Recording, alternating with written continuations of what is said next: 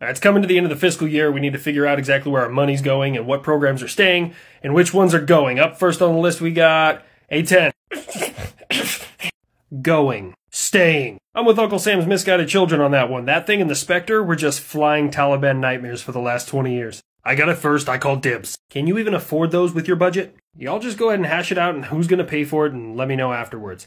Up next, we got the B 52. I've had a good life. Staying. He's he's staying. That's what he's trying to say. Agreed. Okay, the buff lives forever. Uh, Abrams. On top of being one of the most widely produced, exported, and combat proven pieces of armor that have ever been designed, I'm also a really good peacekeeping system. I've kept the peace in cars, houses, villages, airfields, enemy bunkers. Oh, I've kept a lot of peace. He stays, but I'm going to need a loan. He's going to need some upgrades going from GWOT to near peer. Got it. Stays, additional funding required. Uh, Arleigh Burke class destroyers. Oh, y'all are actually asking that question. I don't suppose the Abrams can drive around out here on the ocean chasing away Iranian vessels, can they? Yeah, no, that's that's a fair point. Plus, the Zumwalts have had some some issues, so you stay in service. All right, up next, uh, F-35.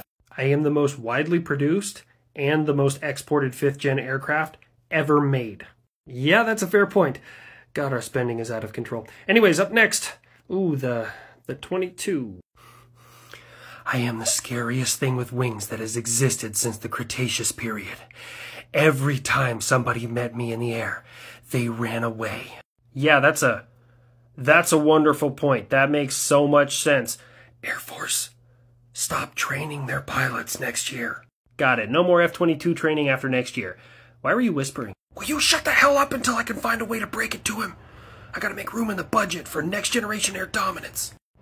Did you say you're getting rid of me? Uh, it's possible. Um, see, Lockheed's working on this next generation air dominance thing, and it's supposed to be scarier than you. I am but a whisper in the wind, a fleeting thought, made of everything you fear. I want to fight him. Considering you're the benchmark everybody needs to beat, I could very much see that happening. Uh, excuse me?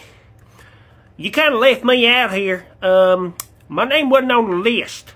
Holy shit, I forgot about the Sky Warden. Didn't we make you on a bet? Like, we wanted to prove that you could make a crop duster scarier than everything Russia has in their inventory. Oh, now that's real funny. That's real funny. Are you sure you couldn't use me to help, like, I don't know, maybe locate Bigfoot or something?